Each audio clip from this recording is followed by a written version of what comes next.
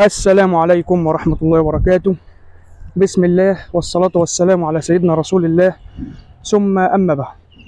إن شاء الله بإذن الله تعالى اليوم هنكلمكم على مرض من أمراض الأرز. مرض خطير جدا. المرض ده بيظهرش إلا عند إنبات الرز. تمام يا جماعة؟ آه وهو ده اسمه الديدان الدموية. الديدان الدموية دي في منها أطوار الطور اللي بيتغذى على بادرات الرز أول ما تطلع كده يعني الرز اللي هو أول ما يطلع كده دلوقتي في الأرض كده اسمه آه طور اليرقه اليرقات بتاع الحشرة دي أو بتاع الديدان الدموية دي هي اللي بتتغذى على محصول الأرز وهو كده. تمام؟ طيب. نيجي ل آه، ميعاد ظهور الإصابة. ميعاد ظهور الإصابة في شهر مايو ويونيو أو في أول ما يبدأ الرز في الإنبات وخاصة الرز اللي بيتسقي بمية الصرف أو بمية مخلوطة بمية الصرف. طبعا مية النيل في مصر كلها مخلوطة بجزء من مية الصرف لأن في ناس طبعا أنتوا عارفين أولاد الضمير بيخلطوها بيخلطوا بيبقوا بيبقوا موصلين ال- الخزانات بتاعتهم بتاع البيوت الصرف الصحي على الترع على طول. على الترع وعلى المصارف بتاع النيل. يعني على الترع وعلى فروع النيل والكلام ده. تمام؟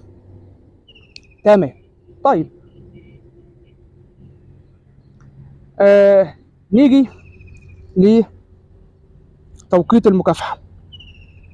عند ظهور الإصابة خاصة في المشاتل التي تروى بماء الصرف زي ما قلنا دلوقتي. تمام يا جماعة؟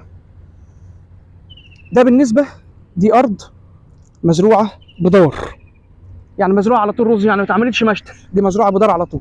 تمام؟ فدي هنكافحها إزاي؟ هنجيب حبيبات المبيد وهنبدرها في قلبها وهنملاها بالمية ونسيب المية فيها أسبوع. وما ينقص المية نعوضها تاني. لو ظهر فيها الإصابة لو ظهر فيها الإصابة. والمشتل هكذا النظام هنسيب المية فيه لمدة أسبوع ومش هنصرفها إلا لمدة أسبوع. لمدة أسبوع ونعوض اللي ناقص من المية لأن المبيد بيبقى قوي. نعوض اللي ناقص من المية كل شوية نعوض اللي ناقص من المية ونسيبها. نسيب المية في لمدة أسبوع ده بعد ما نبدر الحبيبات بتاع المبيد. وأول مبيد اسمه إكسترا كاب ده بيتحط 3 كيلو جرام للفدان.